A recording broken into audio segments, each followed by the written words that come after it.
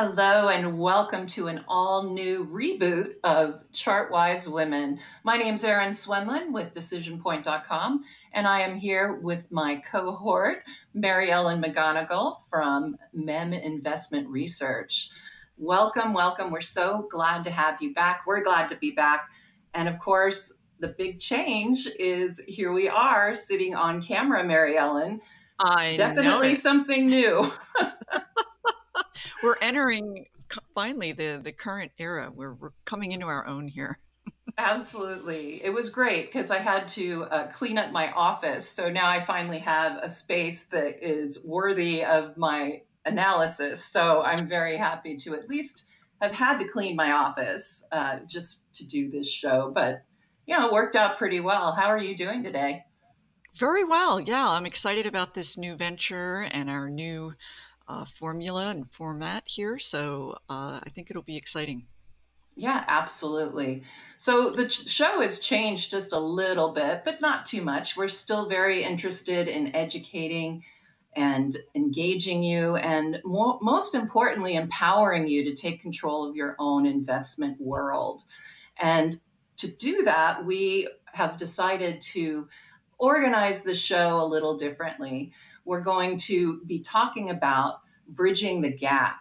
So, what do we mean by bridging the gap? Uh, the idea is, Mary Ellen, right? We want to, yeah. we're on the other side, mm-hmm. and they are on the, they're either on their journey on the way, or right. you want, or we have to to hand take a hand out and say, hey, come on over. This is something you can do.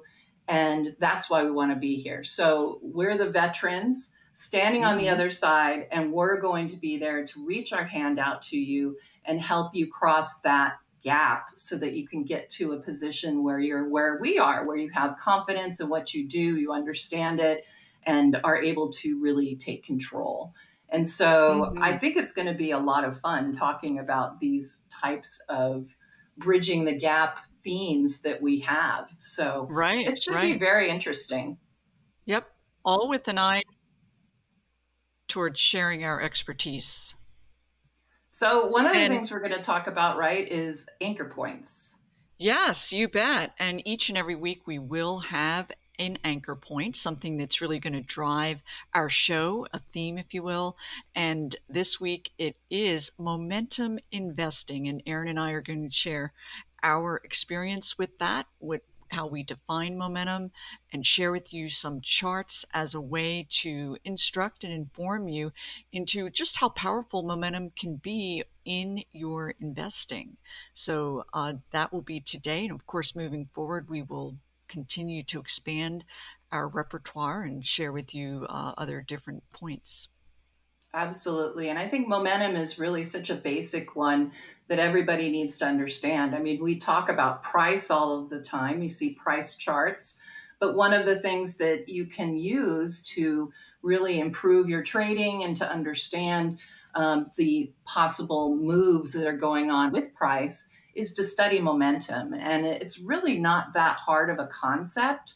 Um, you might hear a lot of people talking about being momentum traders. Are you a momentum trader, Mary Ellen? Uh, through and through, yes, it's in my blood, and that momentum is all about the movement. And momentum can run both ways. It can be to the upside, of course, when a stock really gets going, and then that opposite where the momentum shifts to the downside. So, uh, again, we're going to be sharing with you some some really classic examples and ways I know my work is entirely centered around getting in front of the momentum. I always say getting in front of these big movers just as they're taking off. And if you can get behind that concept, and again, we're going to share with you some ways that you can do that, it's really going to make a big difference uh, in your performance. And uh, yeah. Right, absolutely. And I would have to say I'm a momentum trader as well. Most of my subscriber subscribers are familiar with that. And the folks in my trading room also know that I am a momentum trader. And, and really, what we're looking at with momentum is just trying to get in kind of early on a move, but we want to have that confirmation that momentum is shifting to the upside before we get into a trade. And of course, if you want to exit, you know, looking for momentum when it starts to slide or turn down gives you that opportunity to at least evaluate whether you want to stay in an investment or not. So, you yeah. know, one of the the great points of momentum is of course that, you know, it does give you it is lagging sometimes as an indicator. We talk about lagging, lagging and leading, but a lot of times it does help you lead into an investment. That's right. Well, let me bring up your chart, Mary Ellen, because I know we have a couple we want to share just to really um, give you an example of how momentum works. For me, momentum, there are drivers that really cause that momentum to shift and take place. And for me, it's going to be a, a, number of different factors that are going to be that driver. So here we have an example. This is a, a FTCH Farfetch. It's a luxury retail online platform. And what I wanted to draw your eye to was that November period. And this is a stock that was on my MEM Edge report. It went on to gain uh, 98% from trough to peak. But using that arrow again in that November period, you can see from my work the momentum shift two different items here. One is the very big volume on that beginning of November period. And in that it did break above those key shorter term simple moving averages. And there was a driver, and it was all about an outside investor, a large Chinese company infusing capital into Farfetch. It got Wall Street very excited, and the stock really took off. And so from there, once that momentum shifts to the upside, because we also had a nice multi month base breakout the stock then finds support as it continues to advance. I have a blue line and I reference that five day simple moving average. And for my work, this is a very key component because once that stock takes off, that I convert my chart to include that five day because the momentum shift has happened. It's on the move to the upside. So pullbacks to that five day become an ideal buy point. And then as we move further, we can take us to that March period.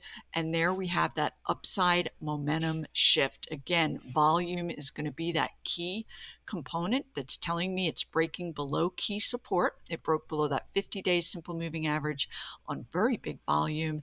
And this was during a period of decelerating earnings. And then your outside momentum indicators can also be quite helpful with the RSI turning negative as well as that MACD. So hopefully you can see from this chart that momentum, it's both the technical chart and it's the shift with, with volume, but also there are catalysts that really get that stock going. And from my work, it is going to be fundamentally driven. Absolutely. I think that looks great. Let's take a look at Fifth Third Bank. This is a whole different area. It's banking. Uh, the growth numbers aren't always going to be quite as high, but I again want to draw your eye back to that November period and of last year when the momentum shifted. And a lot of it is because the company came out with earnings that were well ahead of estimates and other dynamics. So we can see the big volume when the stock broke out of the base and gapped up and began into an uptrend. And nice. so, right. And so, again, it is fundamentally driven. And then I'm going to, for my work, I like to take a look at the sector chart, XLF.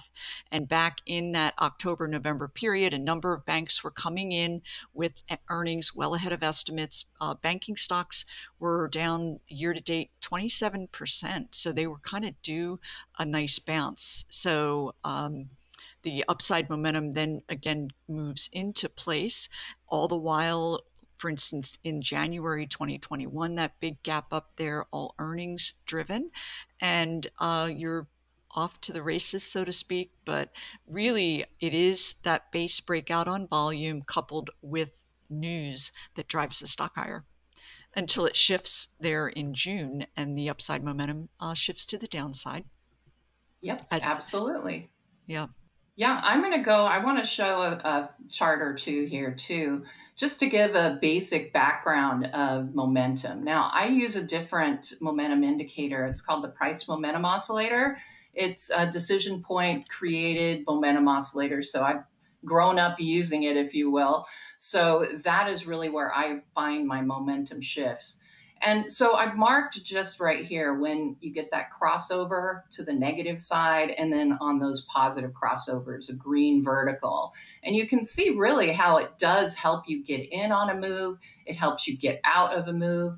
Granted, you may have to take a little bit of um, a decline, possibly lose out on a little bit of rally, but that is just part of the part of what we have to do when we're momentum traders because we really want to look for some confirmation and that can help you quite a bit. So you can see that uh, you usually are going to get in at the right time if you're just looking at crossovers but then you can also just look for those shifts in momentum. You don't necessarily have to wait for a crossover. So if you're looking just at these shifts in momentum, that could also help you get out of a stock at the right time and get into a stock at the right time. So I wanted to show that.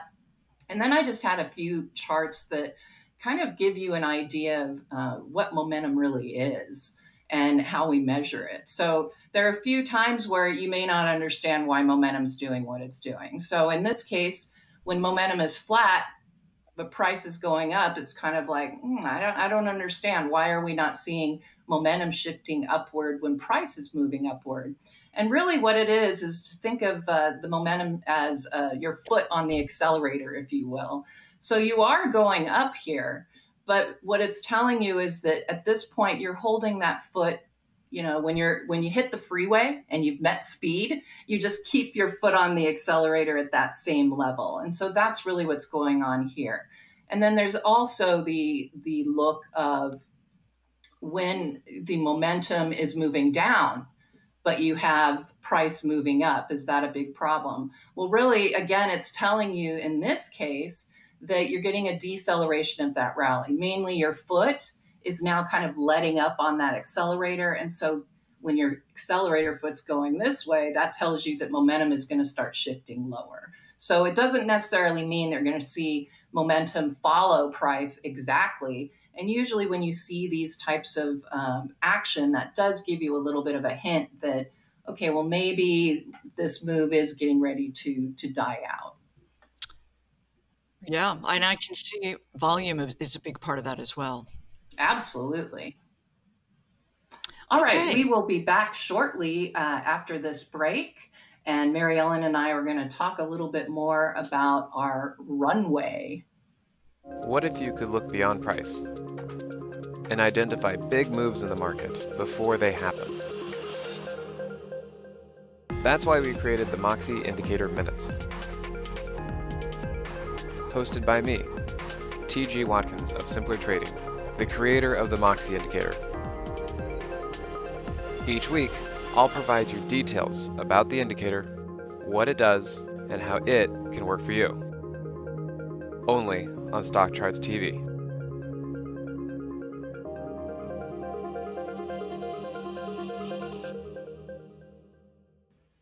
All right, we are back from our break, and we've been talking about momentum as our anchor point, if you will, in our new all all new Chartwise Women reboot here. So it was great to hear a lot about momentum. We're talking about really, you know, you need momentum to take off, right, uh, on the runway. So you know, you you need that momentum so that you can get off the ground and start mm-hmm. heading skyward. Absolutely. Yeah. So from here, how about you and I share a little bit of background, Erin? I know you and I came to this show uh, together, but from different paths. Our runways were different. So uh, you'd like to just share a little bit about uh, how, how sure gotten this spot here? Sure. Here's here's my runway story, if you will. So I did come up uh, definitely in a different path than you did, Mary Ellen. Um, mm-hmm. My path was really on the educational side. Um, I got my degree in math at USC, um, information resource management, masters. Uh, but really, the the main runway story for me is I had a great pilot who was piloting my plane, and I was the co pilot. And that was my father, Carl Swenlin. He really was my mentor. He taught me so much about technical analysis and how it works. And then at that point, I started to do my own studies um, through the Chartered uh, Market Technicians Organization, um, taking their CMT tests and, and, studying that. And it really gave me a great um, background to start doing what I do now, which is writing about what's going on in the market or being in my trading room and, and talking about different charts. So I came up really through that educational uh, point. But like I said, I had an excellent pilot to the plane when I was taking off, and that was my father. And pretty soon he was able to hand the controls over to me. And now I pretty much um, run and do most of the uh, work that uh, we have at Decision Point. That's wonderful. And I know you came up from an entirely different way. So you tell us I your story. Did. Yes, my runway path started with a jaunt on Wall Street. And my first job was on the trading desk or the trading floor of Goldman Sachs, if you can imagine. And then from there, I did make it to another large Wall Street firm. I was a portfolio manager. I managed over 2 billion in assets and just really loved the dynamics of the markets. But as far as my mentor and relating to stocks, it would be during my period with William O'Neill and Company, the founder of Investors Business Daily. I was on the what's called institutional side. So I worked with portfolio managers, analysts for 15 years, traveled the globe, and more importantly, work, taught them the O'Neill methodology. And that's all about momentum and how to get in front of these big winners, triple digit, thousand percent winners, just as they're taking off. And that permeates my work now. I founded MEM Investment Research, which is now being powered by Simpler Trading, uh, where I offer advice on the broader markets, stock selections, but again, all based on that O'Neill methodology. So now, you know, being women in this business, did you find there were any roadblocks or, um, you know, I know for me, it, not that there's a good old boy network or anything, but it, I was definitely um, kind of an interesting person to be in the in the mix. I know that usually an eyebrow was raised. At least you know I'm older. I'm you know when I was in my getting my math degree at USC, I had professors who were really um, they they just didn't support me because I was a woman and you know it was all males pretty much in those classes and so I always felt like I had a little bit uh, of a performance you know had to really outperform in order to to be noticed and mm-hmm. yeah, so I mean did you find that to be a problem? Not so much a problem, but I will tell you, I would go to conferences. Technology would be the uh, subject. There would be maybe a thousand Wall Street analysts and portfolio managers, and I would be one of a handful of women. So definitely stood out. But I did not find it a barrier so much, but it was very, very unique to be a woman, a female money manager, and um, but I loved carving that path because now it is quite a bit more common. Of course, mm-hmm. a lot more women in the world of finance, which is wonderful. Well, and... I mean, look at Cathie Wood. She's mm-hmm. in charge of all of those ARK funds, and she's really considered one of those experts out there as well. She was my client. I visit I visited her uh, many times. She was a partner at a hedge fund in New York, so uh, we were in the uh, trenches together if, if you wow will.